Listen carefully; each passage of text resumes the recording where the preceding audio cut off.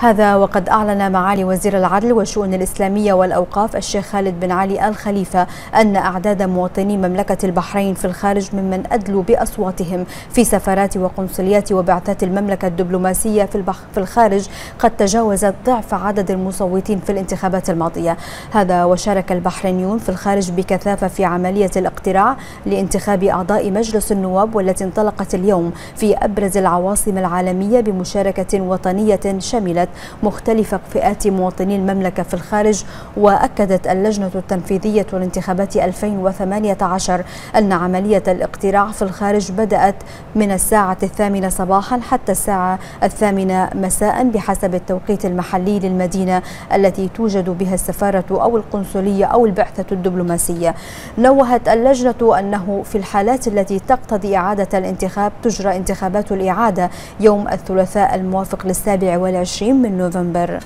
الجاري.